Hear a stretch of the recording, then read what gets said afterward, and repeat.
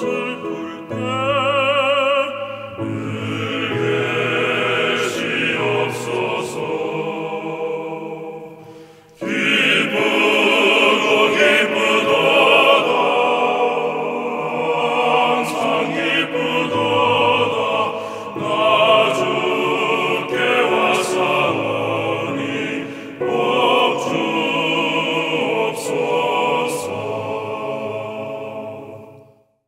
오늘도 살려주시고 새날을 살게 하신 하나님께 감사드립니다. 오늘의 말씀은 디모데 전서 4장 15절입니다. 이 모든 일에 전심전력하여 너의 성숙함을 모든 사람에게 나타나게 하라. 날씨가 갑자기 여름이 찾아온 듯 더워졌습니다. 그러다 보니 우리 몸이 늘어집니다.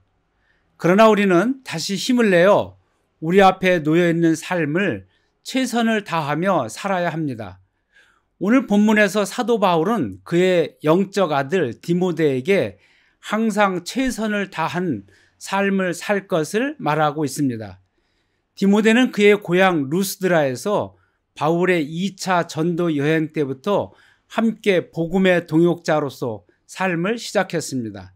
그는 바울과 함께 매사에 최선을 다했습니다.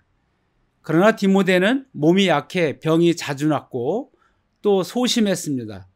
그러다 보니 때때로 삶이 다운될 때가 많이 있었습니다. 그러나 바울은 다시 한번 힘을 내요. 하나님께서 부르신 내 삶에 전심전력하라고 말하고 있습니다. 그래서 우리의 삶과 하고 있는 일의 성숙함을 나타내 보이라고 합니다. 디모데에게 주신 말씀은 곧 오늘 우리에게 주신 말씀입니다. 주신 말씀에 힘입어 오늘 다시 한번 일어납시다. 그리고 부르신 삶에 맡겨 주신 일에 다시 한번 전심전력 하도록 합시다. 우리의 삶이 하루하루 성숙해져 가는 모습을 하나님께 그리고 함께 살아가는 사람들에게 그리고 나 자신 스스로에게 보이도록 합시다. 우리 주 하나님의 은혜와 평강이 오늘도 3분 말씀을 듣는 여러분과 함께 하시길 빕니다. 기도하겠습니다. 하나님, 오늘 우리에게 허락하신 이 하루의 삶을 오늘 우리에게 주신 말씀처럼 전심전력하여 우리의 성숙함을 모든 사람에게 보이는 하루가 되게 하여 주시옵소서 감사하며 예수님의 이름으로 기도하옵나이다. 아멘.